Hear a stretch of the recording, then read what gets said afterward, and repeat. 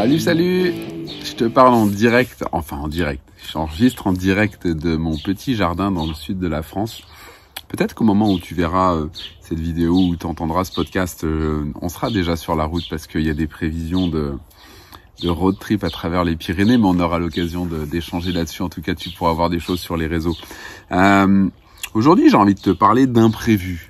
Euh, j'ai envie de te parler d'imprévu parce que euh, je sais pas comment toi tu réagis face à un imprévu, mais c'est assez intéressant de voir comment on est susceptible d'être complètement déstabilisé par rapport à un imprévu. Alors un imprévu c'est quoi? Bah c'est euh, tu te lèves le matin et tu as une journée qui est prévue à se dérouler euh, avec euh, telle et telle chose. Euh, par exemple, tu te lèves et tu décides que tu avais décidé d'aller à la plage ce jour-là parce que c'était ce que tu avais décidé de faire. Mais en fait, tu te lèves et t'aperçois dans le ciel comme des nuages qui sont là et qui contrarient un petit peu tes, tes plans. Alors tu regardes la météo, puis tu te rends compte que bah, en bord de mer, c'est encore pire que chez toi parce que toi, tu es à quelques kilomètres de là et tu te dis c'est pas la peine, ça va pas être agréable tout ça. Donc change tes plans, va falloir que tu fasses autre chose, va falloir que tu trouves autre chose à faire.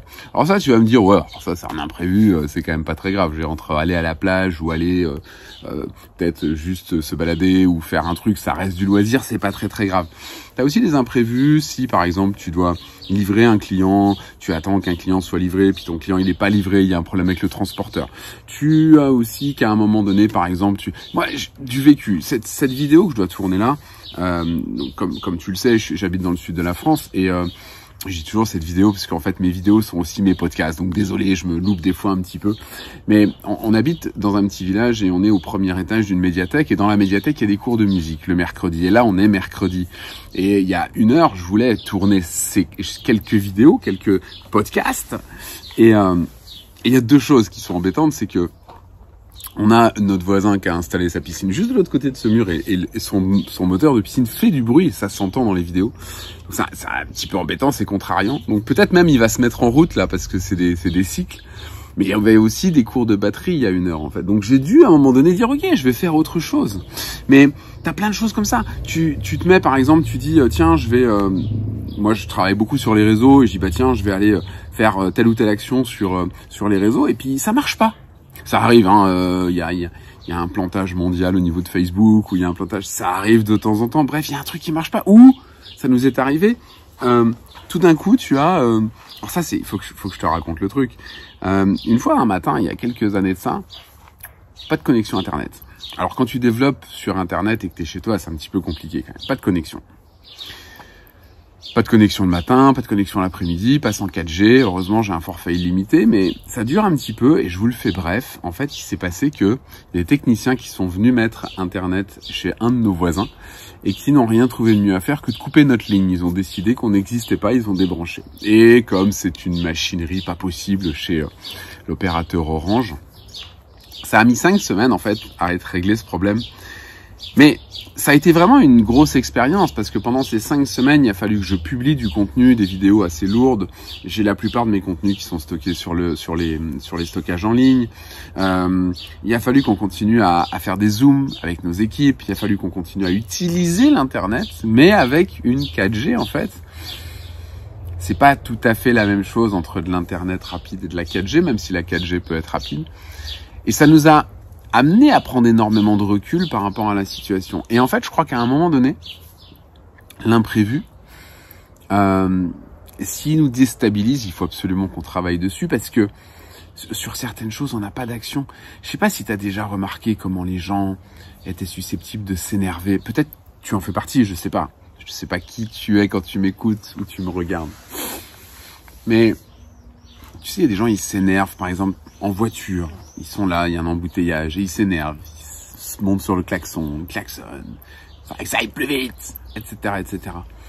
C'est tellement agréable à un moment donné de, d'accepter ce qui est. Accepter ce qui est. Parce que, l'imprévu, on a parfois pas d'action dessus. Des fois, on en a. Mais si tu regardes bien, les imprévus qui nous dérangent, ce sont des imprévus pour lesquels on n'a pas d'action prendre un autre exemple, j'ai décidé ce soir de regarder un film, mais euh, je sais pas, tout d'un coup il se passe un truc et le film il est annulé, c'est autre chose qui est diffusé à la place. Bon bah ok, c'est contrariant, c'est certain. Et, je crois qu'on a tous eu à vivre depuis euh, le début de l'année 2020 des imprévus terribles avec le, la crise sanitaire du Covid. Mais je crois que c'est vraiment quelque chose d'important à travailler, de faire en sorte d'accepter. Et, surtout, euh, je ne sais pas si tu as remarqué ça, moi je travaille en marketing relationnel et je travaille pour une compagnie qui est basée aux États-Unis avec différentes antennes dans, dans, dans plusieurs, euh, sur plusieurs continents. Et les gens ont, ont parfois, ont souvent tendance, au moindre petit souci, à s'énerver et à tout renvoyer sur euh, la problématique de la compagnie.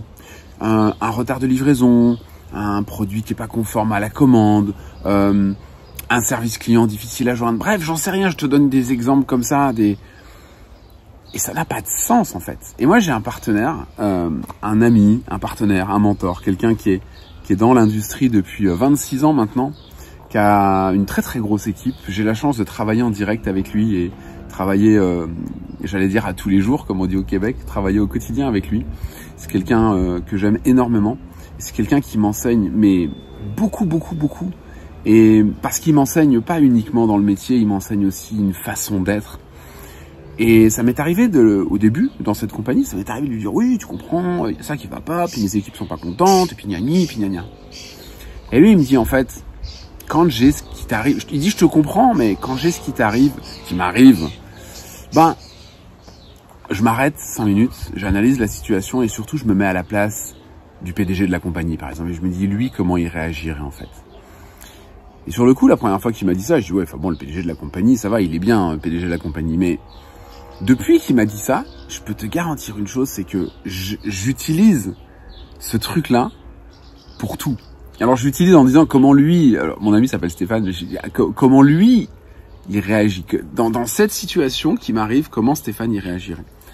Et parce que je le vois toujours très très zen en fait. Et je me dis, c'est pour moi qui suis à la base, pas forcément quelqu'un de très zen, c'est un bel exemple en fait.